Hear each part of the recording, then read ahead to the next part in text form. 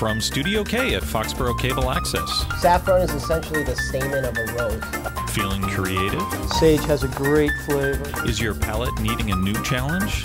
Well, let's cook with Mike Damasio. Hey everybody. Welcome back to another episode of Let's Cook with Mike. It's fall, as you can see by our uh, skeletons here in our studio. We're getting ready for Halloween. Well, tonight I'm gonna we're gonna scare the children because what we're gonna do is we're gonna make a child-friendly meal, macaroni and cheese, but we're gonna sneak some vegetables in there, and they'll never know they're there. Uh, so we're gonna make a uh, we're gonna cook our pasta, pasta, and we're gonna make a delicious cheese sauce, and it's going to incorporate these uh, this carrot and butternut squash into the cheese sauce. So we have a lot to do today. There's a lot of cooking, a lot of preparation, and we're also going to add some chicken tenders and the uh, homemade chicken tenders in the end as well. Again, lots of kid favorites, uh, and we're going to sneak in those vegetables, and they'll never know what happened. All right. So, if you guys are all ready, I'm ready. Let's cook. We're going to start off. I started our water boiling because nothing takes longer than watching a pot of water try to boil. So we started the water nice and early. I'm going to put in my few cups of pasta here and I'm going to set my timer so that we will not overcook that pasta. We're going to set that for nine quick minutes, which is what the box recommends. And start. Okay. All right, the next thing we're going to do is we're going to start making our uh, bechamel, which is a roux with milk.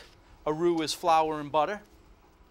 And add the milk, you get a nice bechamel and that's a great basis for any cheese or cream based sauce.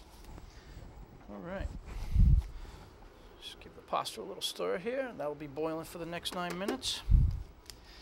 Okay, so the first thing I'm going to do is heat up my stove here. I'm going to put in a quarter stick, uh, quarter pound of butter. We're going to let that melt for a little bit. And while that is melting, we're going to chop up our vegetables, and I'll explain what we have here going on in our going on in our uh, dish today. So as you saw, oh, as I told you, we're going to be making the mac and cheese. So with the mac and cheese, we have a lot of delicious ingredients here. We have some fine shredded cheddar cheese and some Parmesan cheese, which will be the basis for the cheese sauce. We have a beautiful garlic and shallot here as well that are going to add a little bit of sweetness and flavor for the cheese sauce. Uh, we're going to also mix in some American cheese, which will just give it a nice creamy texture once it's done cooking. And as I said, we're going to throw in this, we're going to dice up nice and small these butter, uh, butternut squash and this carrot into our sauce so that the kids are getting their vegetables and you'll be happy knowing that they're getting their vegetables and they won't even know they're there. We picked the right colors, right? We picked the same colors as the cheese so that Again, we can hide them. We don't want to put a green vegetable in there. It'll change the color and the texture altogether. So while the butter here is melting, I'm going to chop up these vegetables. Now I'm going to make them nice and small. I brought a new tool today, a tool I'd never used on the show before. But this is a, a great, they call it a smart stick. I call it a hand mixer. Uh, it's a mini hand mixer. And what we're going to do is we're going to cook down these uh, carrots and butternut squash enough so that they'll get soft enough and we're going to be able to um, emulsify them and mix them right into the cheese sauce so they'll never know they're there. So again, I'm going to make these nice and small as we're waiting for our pan to heat up here so that they'll be they'll cook quicker and they'll be easier to uh, to mush up when we're ready to mash. This is just a nice fresh carrot, already peeled, ready to go.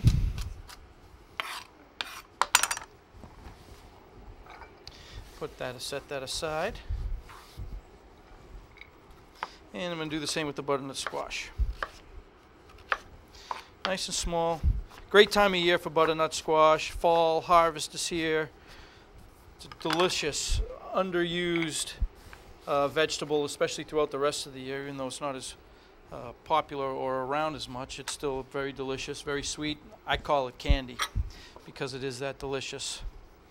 All right, I'm going to finely mince up my garlic and my shallot and add it to my cooking butter here, which is eventually going to become the roux, and which will eventually become the bechamel, which will eventually become the cheese sauce. So I had a nice large piece of garlic. That is a big piece of garlic right there. We're going to dice it up nice and small. Again, we don't have to worry about how small we get it because we're going to use our hand mixer here, our smart stick, as the company promotes it as, to again make everything nice and small.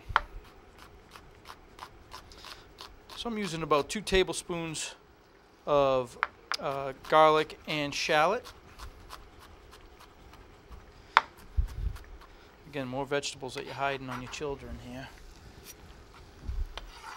So obviously this is a much better dish than serving your child the the uh, box cheese sauce, which is loaded with sodium and artificial this and that and the other thing. Always better to give them nice fresh food. And again, it takes a little bit of extra time, but in the end, you you know you're serving them something that's homemade, fresh. Uh, you know what's in it, no mysteries, and in the end, it's going to be much much better for them. All right, so we're almost ready. We're going to let those vegetables cook down just a little bit, let them get a little translucent, and then we're going to add the flour in there to start making the roux. And we're going to go for a blonde roux today. There's basically four levels of roux that you can make, and all that is is how long you cook the flour for. Now, the more you cook it, the more nuttier it is, but it's also less flavorful. And the less you cook it, you're going to get more buttery, less nutty. And uh, it also thickens better the less it is cooked. You're not cooking out all the, all the flour. So I'm going to start to slowly add this into our butter mix. And you want it kind of like a thick, a little thicker than an Elmer glue.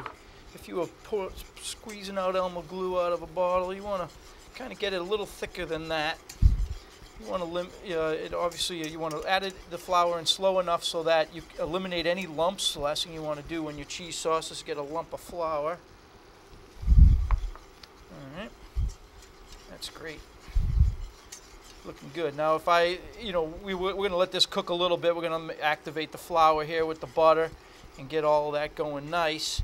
Uh, but again, we could cook this for another 7 to 10 minutes and it will become like a chestnut color. And we can go another 13 minutes, 14 minutes, and you, it'll become a deep, deep mahogany and very, very nutty. But again, it won't be as good as a thickener at that point. So we're going to let that settle just a little bit. I'm going to go grab some milk here. And we're going to add about three cups of milk to this mixture. I don't want to overdo it, maybe a little less. But we're going to do it nice and slowly so that again it incorporates nicely into the roux. As you can see that's nice and thick. You can see how it's moving around in there. Still pulling away from the sides. The last thing you want to do with a roux is burn it. Uh, you just need to start all over again if you ever burn this the roux. So we're going to slowly add our milk here. It up nice. Again, we want to try to eliminate the, so there's no lumps. All right, that's one cup. And to make a roux, very simple. I don't think I said this in the beginning. You want to start with equal parts butter, equal parts flour. So uh, obviously the larger the sauce you're making, the more butter and flour you need. So if you use a, like I used a quarter stick of butter, and I used a uh, quarter cup of flour, and you get this nice, beautiful, creamy base for your cheese sauce. This is just two cups. We're going to go one more because we do want it a little creamy because this cheese, all this cheese is going to thicken this up real nice as well. So let's get our third cup in here. And after this, once the milk heats up just a little bit, once the milk heats up, we're going to add our carrots and butternut in there, and we're going to be all ready uh, to, you know, continue with the cheese sauce. But we're going to cook that down for a while as well to make sure that the vegetables get nice and soft. All right, we're going to keep moving that in. We're going to add a little bit of a little bit of salt, which I don't typically do, but because of the flour, you really want to add a little bit of salt just to bring out some of the flavor that we're going to be uh, kicking in here. And then, of course, some pepper.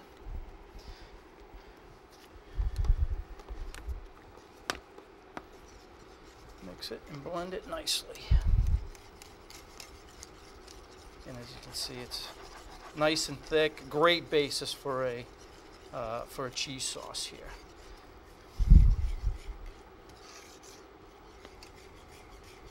All right. So what we're going to do is I'm going to go actually another half a cup. Oops. Just to get a little creamier.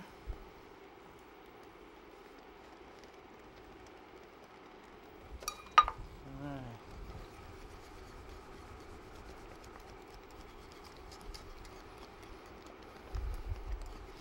Beautiful. I'm going to add the carrots and the butternut here. Whoops, making a little bit of a mess. Our nine minutes is up. Time flies when you're having fun. Boy, that pasta cooked fast. I'm gonna just slow that down a minute. We're gonna need all the stove stop top space we can use today. I got a lot going on here. Definitely want to clean up my mess. Clean as you go, unless you work in a restaurant. Then you have somebody else do it for you. All right. So again, I'm going to add my carrots and butternut squash here. I'm going to turn down the heat on this. I'm going to take this cover. Oop, where'd the cover go? There it is. Take this cover, cover that, bring the heat down, and once again, we are going to time that for about nine minutes and get the vegetables nice and soft. So off with the timer again. Let's get this milk out of here. Back in our Studio K refrigerator. All right, we're gonna have a lot of dishes to do at the end of this one, Deb. All right, so we're gonna, I'm gonna take a second and empty out our pasta here.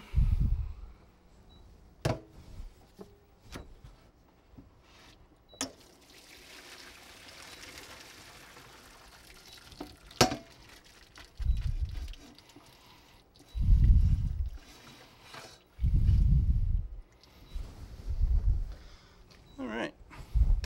Just going to keep this off to the side for a moment while we don't need it. Add a little bit of oil in there so it doesn't stick. Stop this from beeping. Always good.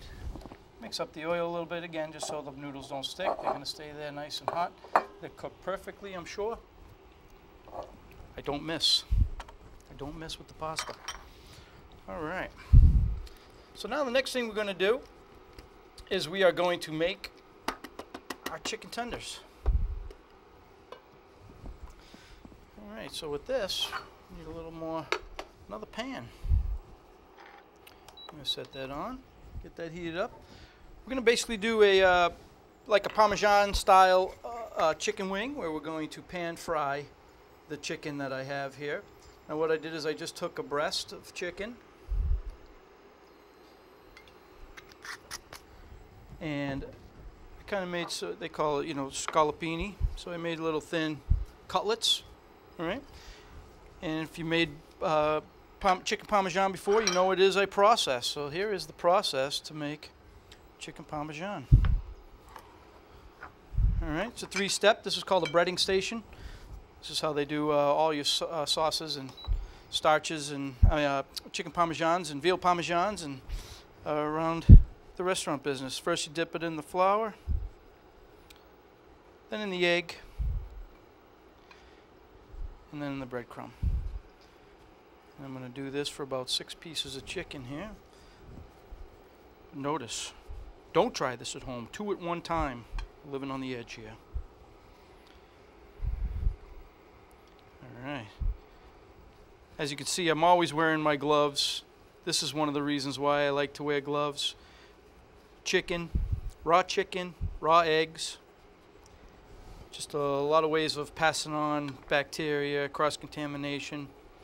Hands are the biggest issue in food service industry. It's the cause of it's got to be at least 90% of all foodborne illnesses that come out of a restaurant always happen because somebody didn't clean their hands.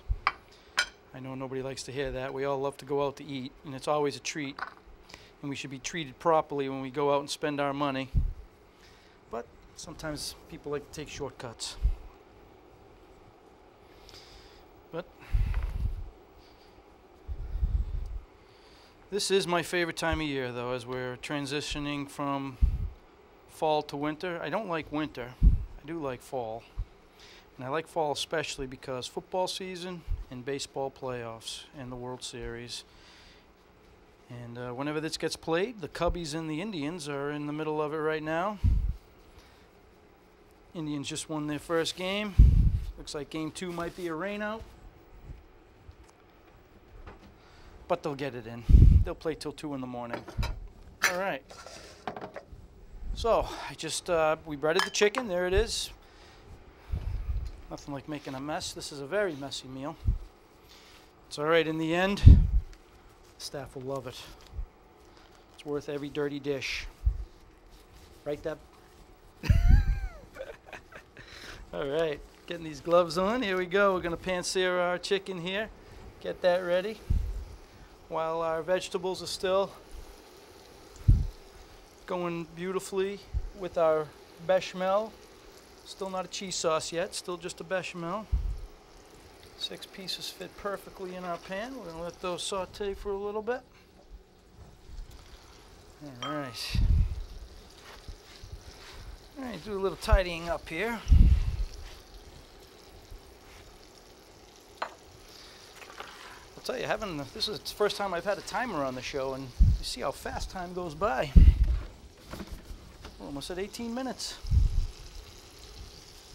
Okay, see how our bechamel is still looking. Still looks delicious. And what I'm going to do is I'm going to probably cut this in half for uh, A, time purposes and uh, quantity purposes. We have a lot of sauce here.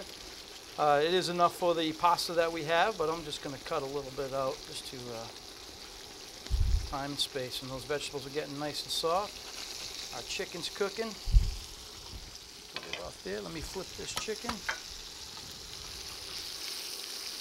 Nice. Beautiful. Fantastic.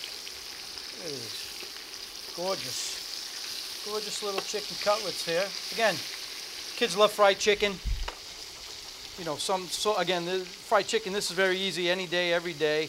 Uh, again, you know what's going into it. It's not a frozen patty with all kinds of fillings and preservatives. It's just a nice chicken breast. You know, these days, $2 a pound. Slice it nice and thin, little flour, a little egg, a little breadcrumb. Put it in a pan with some oil. Great meal. That by itself, throw some American cheese on it in between two pieces of bread or a roll. You get yourself a chicken parm sandwich. Who needs tomato sauce? Excellent, excellent. All right, I'm going to take a second here and just remove some of this sauce here. So I'm just going to back out some of this stuff here so we can get ready to puree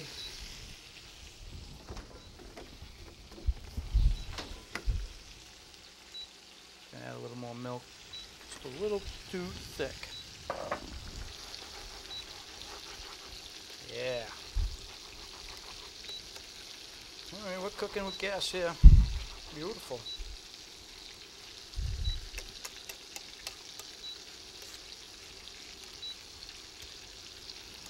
All right, I think this chicken's all set.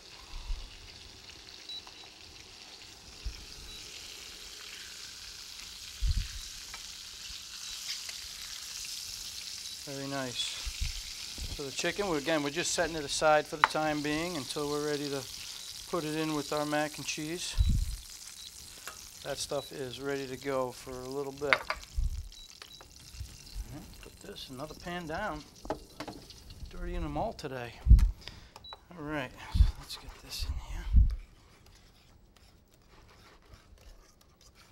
All right, I'm gonna get another bowl I'm gonna put our pasta in this small bowl because I'm to need this big bowl here for doing my mixing. So what I'm to do now is use my new tool. All right, I have my hand mixer here. I have my vegetables with my bechamel in here. I'm just to pour this all in here. Once I get a nice puree on this, got a little bit of burn there, get that out of there it's tough to keep the flour from you know sticking and burning in the pan. You got to really keep it moving through the whole time.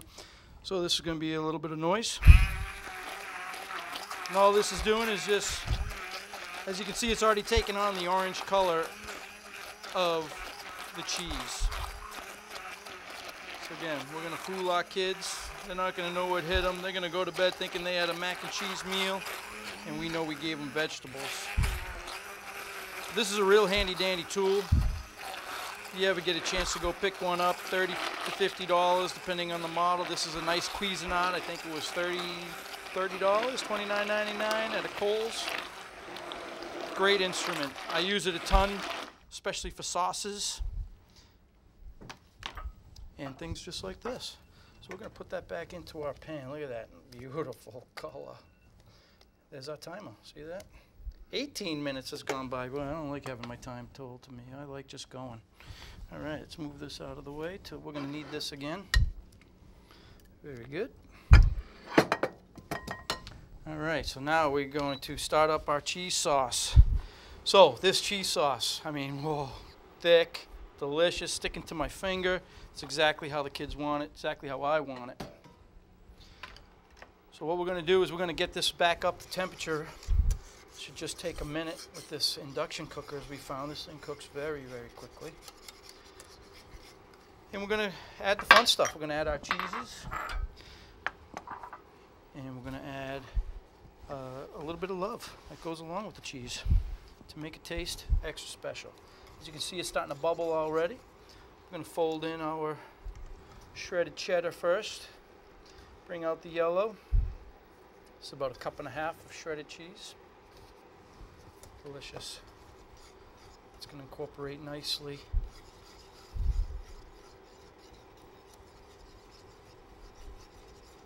Oh yeah. Taking on the yellow with the orange. We got a beautiful looking sauce here.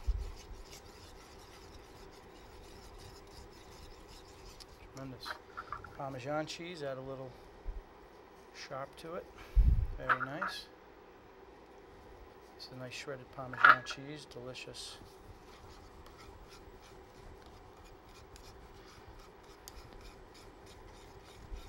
I mean, why would you ever go back to Kraft? Come on. Or Auntie Annie's.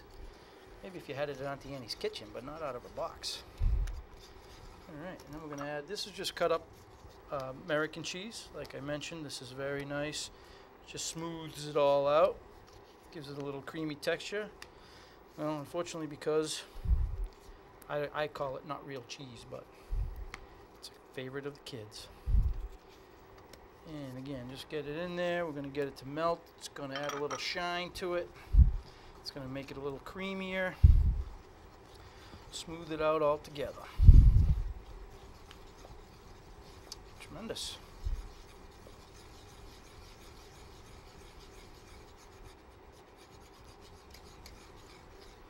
Can you tell there's vegetables in there? No way. Gonna do a little taste test here. Make sure we're on course. Oop, no spoon in there. Gonna do it the old-fashioned way. I was gonna use my finger, but I won't. All right, see where we're at here. Very nice. You can taste all three cheeses. You can taste the creaminess that we made with the bechamel. Very nice. This is going to stick to their ribs. Very nice. Delicious. All right. And now, take this pan back. So this pan just had the sauce in it.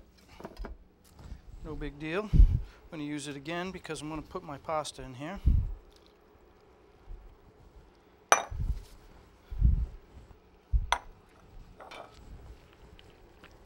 Ready for the sauce. Delicious. Pour the mac and cheese in there. Oh boy, looks like we got enough for everybody today. When do I never have enough for everybody? I make sure everybody gets fed. There's one thing I do, is feed people. At home, at work, and at play, because this is play. This is play. This is the fun part. Well, looks very creamy and cheesy deliciousness. I think I have this huge platter here, which is perfect for the amount of food we have here today. Very nice. I do have to get my garnish ready, so I'm going to do a little garnish right here, a little parsley. Just going to pull a little bit of this off. I'm going to do a rough chop here. I'm not going to make it too fine because there's nothing wrong with a little parsley on top.